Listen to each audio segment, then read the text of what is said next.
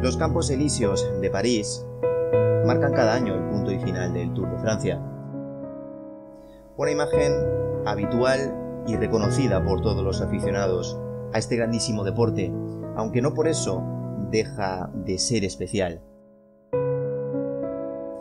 Esta vez lo ha sido sin duda no solo por la cuarta corona de Chris Froome, que lo pone a tiro de piedra de los grandes ilustres de esta carrera, como Indurain, como Merckx o como Inold, sino también porque fue la última vez que veremos sobre una bicicleta al carisma, al alma, al coraje que mejor definen esta competición.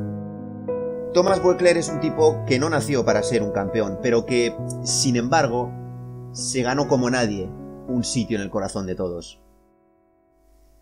Es sencillo de comprender.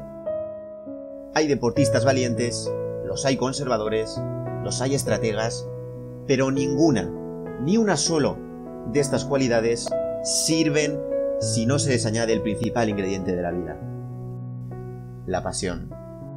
Es por eso que nos ponía en pie. Es por eso que preferíamos que ganara él antes que cualquier otro. Y es por eso que le echaremos de menos. No tanto por lo que ganó, que fue mucho, sino por lo que representó. Especialista en algo, sí, en no ser aburrido. Jamás se conformó. Y nosotros jamás olvidaremos lo bien que le sentó a este deporte su figura.